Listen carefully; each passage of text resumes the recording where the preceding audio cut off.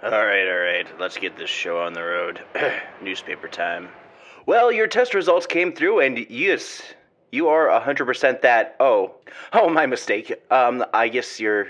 The another patient I have uh, wants to know what percentage of heritage she is, and I, you know, looked that up and it found out that she's 100% that. Uh, well, it's not really appropriate for this particular conversation. I need some plastic surgery.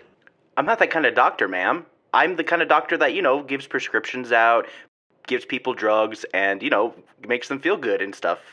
Plus, the surgery you're asking for is controversial. Nuh-uh. I mean, like, perhaps in the next 50 years or so, while technology improves more and more, I'm assuming that, I just want to be a Muppet, okay? well, that's possible, but you would have to cut into, like, felt, and you'd need a seamstress or somebody who can sew or anything like that. I can pay you.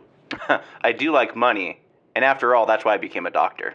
I don't want to look like Janice from the Muppets band. She looks like she's already had work done. And I don't want to look like I have work done. I want to look perfect. Perfection is hard to reach, ma'am. After all, you know, nobody's perfect, and I know that because I like to say Po Buddy's Nerfic. It's a pun where you switch the first two letters of both words, perfect and nobody. I think it's funny. But, you know, this surgery, you're mixing meat with uh, inanimate objects and chemicals. Well, in case you change your mind.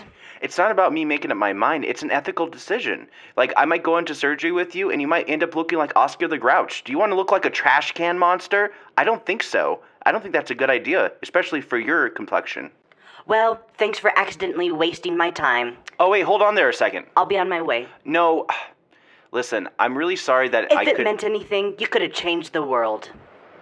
Waiting for this lady on the street.